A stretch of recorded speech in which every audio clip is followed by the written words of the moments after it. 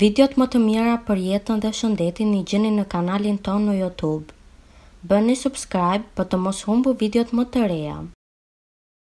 Gjashtë gjëra që duhet të bësh nëse po kalon një ditë të vështirë. Kalimi i një faze të vështirë në jetë është një gjë e pashmangshme që pothuajse u ndodh të gjithëve. Njësoj si një çadër që ju mbron nga shiu, Ekspertët thonë se është mirë që edhe ju të keni gati disa praktika sjelljeje sa herë që një stuhi vështirësie ju godet papritur. Një. Një problem i vjetër që mund të sjellë diçka të re. Kohët e vështira janë gjithmonë të dhimbshme.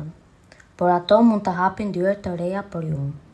Përqëndrohuni tek zakonet e reja, njerëzit, mundësitë, përvojat dhe kështu do të tejkaloni një fazë të vështirë në jetën tuaj. Dy, Zgjidhni kënaqësitë e vogla. Kujtojini vetes se ka kënaqësi të vogla në jetë që mund të bëni me padurim çdo ditë. Të pini çajin e preferuar, të nuhasni parfumin që ju pëlqen, të shikoni lindjen e diellit në mëngjes, e të tjerë. Këto kënaqësi të thjeshta ndihmojnë në balancimin e energjisë dhe ju kujtojnë se jo gjithçka në jetë është e vështirë. 3. Jini fleksibël. Dëgjoni një podcast teksa ecni në park. Lexoni një mesazh të shkurtër nga dikush që ka shumë rëndësi për ju.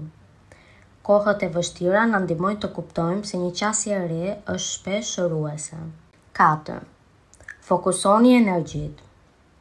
Kohët e vështira bëjnë që të ndiheni më të izoluar, ndaj fokusin mbajeni te energjia. Një libër i mirë Takimi me miq të vjetër, ndjekja e një kursi online, mund të jenë një ide e duhur për të bërë gjëra ndryshe. Pesë, Mendoni për një periudhë të vështirë që e keni kapërcyer. Të menduarit për kohët e vështira që keni kapërcyer në të kaluarën mund t'ju ndihmojnë të ndiheni më të qetë për vështirësinë aktuale. ta vendosni situatën në një këndvështrim më të gjerë dhe të zgjojë një ndjenjë kurioziteti se si kjo situatë do të ndryshojë dhe zgjidhet me kalimin e kohës. Gjashtë, përgatituni për skenarët e së ardhmes. Është normale që të keni mendime për skenarin më të keq, sidomos kur kaloni kohë të vështira. por të konsideroni skenarët e mundshëm mund t'ju ndihmojnë të përgatiteni për atë që do vijë, jo vetëm emocionalisht, por edhe me veprime konkrete.